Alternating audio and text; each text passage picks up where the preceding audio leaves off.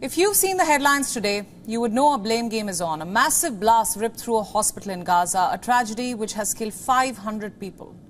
We are all outraged. Everyone wants an answer. Who bombed the Gaza hospital? The Hamas run Gaza Health Ministry says Israel was behind the bombing. Israel pins the blame squarely on a misfired rocket by Palestine's Islamic Jihad group. We don't know what or who was behind this heinous crime, but in the next few minutes, let me tell you why the Palestine Islamic Jihad group is making headlines again. Question number one What is the Palestinian Islamic Jihad or PIJ? If you go back to the beginning, the PIJ is believed to be an ally of Hamas. The latter rules Gaza and opposes the very creation of Israel. The Islamic Jihad has been designated as a terrorist organization by the US State Department. The group's founders are Fathi Shakaki and Abd al Aziz Oda. They were students in Egypt. They were members of the Egyptian Muslim Brotherhood, which was a Sunni Islamist movement founded by Hassan al-Banna in 1928. Sometime in the late 1970s, the two founders felt that the Muslim Brotherhood was not fully devoted to the Palestinian cause.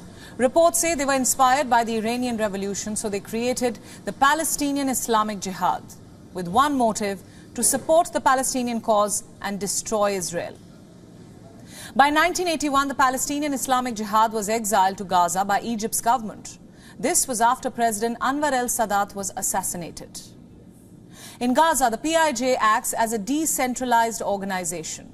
Reports say that its functions are different from other extremist groups in the region, like Hamas, Fatah, and Hezbollah. It has one goal to attack Israel and establish a Palestinian state in the West Bank, Gaza, and other areas that they see as illegally occupied by Israel.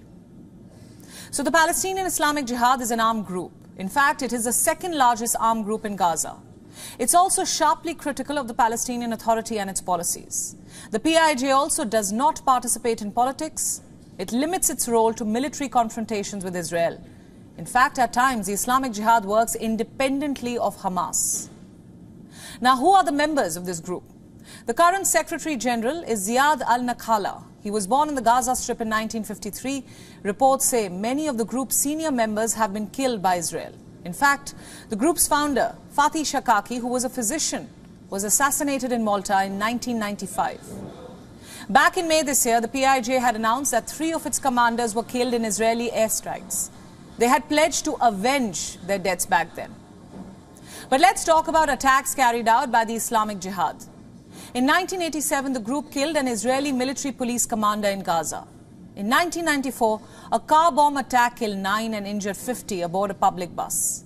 In 1995, a suicide bomb claimed by the group in Israel's Netanya killed 18 soldiers and one civilian. There are many more such incidents. Next question. Who funds the Palestinian Islamic Jihad? It is believed that Iran supplies the Islamic Jihad with training, with expertise, with money but most of the weapons are locally produced. And while its base is Gaza, this group also has influence in the West Bank town of Jenin and is believed to maintain close ties with Iranian officials from Lebanon and Syria. Another important question is the Islamic Jihad group a big threat? Well, Israel says yes. The Israeli military has said in the past that the group was responsible for rocket attacks against Israelis in occupied West Bank. But as this war continues to claim many, many more innocent lives, it begs the question, are Hamas and Islamic Jihad the same? No. Reports say that Islamic Jihad is the smaller of the two Palestinian groups currently operating in Gaza. The PIJ is outnumbered by Hamas, but it has its own weaponry. Unlike Hamas, the Islamic Jihad does not intend to fight for political office or open any kind of diplomatic channels with Israel.